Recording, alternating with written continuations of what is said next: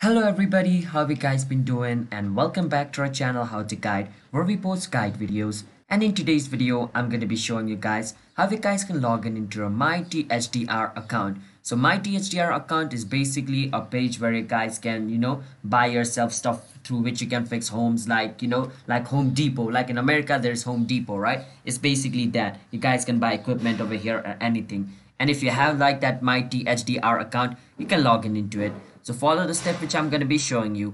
But before that, and if you guys are new to our channel How to Guide, then don't forget to hit that like and subscribe to our channel How to Guide.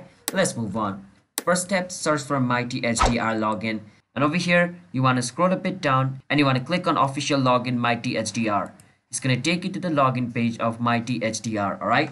So wait for some time and now you're in the login page. Now once you're in this page, scroll a bit down and click on current associates, click here to login it's going to take you to the login page. And remember there's also other option over here. If you're like a former associate like uh, a retired worker now you don't work for it but in the past you did work for it you can click on it to log in into your account. And if you forgot the password of your account you can click on forgot password to recover it over here as well all right so once you're over here just enter your store location. So after you enter your store location you can enter your user id over here.